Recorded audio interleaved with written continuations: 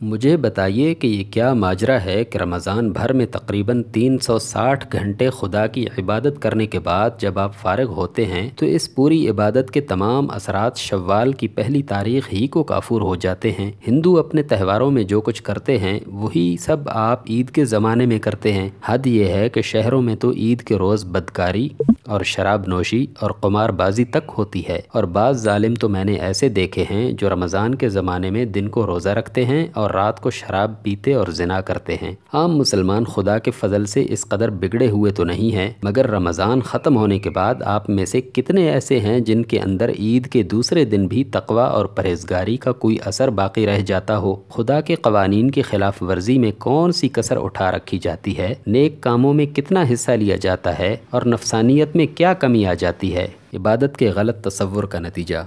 सोचिए और गौर कीजिए कि इसकी वजह आखिर क्या है। मैं आपको यकीन दिलाता हूँ, इसकी वजह सिर्फ़ ये है कि आपके जहन में इबादत का मफहूम और मतलब ही गलत हो गया है। आप ये समझते हैं कि सहर से लेकर मगरब तक कुछ ना खाने और ना पीने का नाम रोज़ा है और बस यही इबादत है। इसलिए रोज़े की तो आप पूरी हिफाजत करते हैं। खुदा का खौफ आपके दिल में इस कदर होता है कि जिस चीज़ में रोज़ा टूटने का ज़रा सा अंदेशा भी हो, उससे भी आप बचते हैं। अगर जान पर भी बन जाए, तब भी आपको रोज़ा तोड़ने में तामुल होता है। लेकिन आप ये नहीं जानते कि भूखा प्यासा रहना दरअसल इबादत नहीं, बल्कि इबादत की सूरत है। और ये सूरत मुकर करने से मकसूद ये है कि आपके अंदर खुदा का खौफ और खुदा की मोहब्बत पैदा हो और आपके अंदर इतनी ताकत पैदा हो जाए कि जिस चीज़ में दुनिया भर के फ़ायदे हों, मगर खुदा नाराज़ होता हो, उससे अपने नफ्स पर जबर करके बच सकें। और जिस चीज़ में हर तरह के ख़तरात और नुकसान हों, मगर खुदा उससे खुश होता हो, उस पर आप अपने नफ्स को मजबूर करके आमादा कर सकें। ये ताकत इसी तरह पैदा हो सकती थी कि आप रोज़े के मकसद को समझते और महीना भर तक आपने खुदा के खौफ और खुदा की मोहब्बत में अपने नफ्स को ख्वाहिशात से रोकने और खुदा की रज़ा के मुताबिक चलाने की जो मश्क की है, उससे काम लेते। मगर आप तो रमज़ान के बाद ही इस मश्क को और उन सिफात को,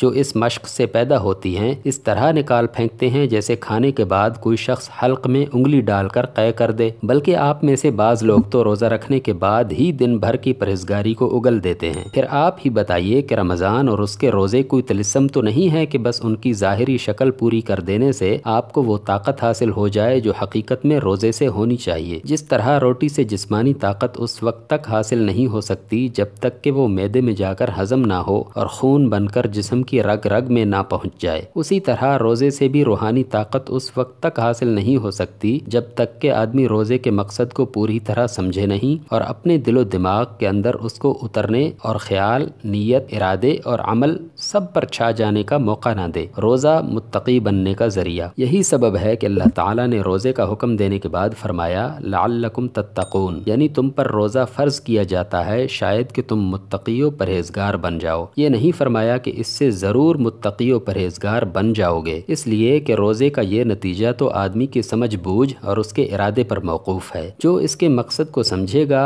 और इसके ज़रिए असल मकसद को हासिल करने की कोशिश करेगा, वो तो थोड़ा या बहुत मुत्तकी बन जाएगा। मगर जो मकसद ही को ना समझेगा और उसे हासिल करने की कोशिश ही ना करेगा, उसे कोई फ़ायदा हासिल होने की उम्मीद नहीं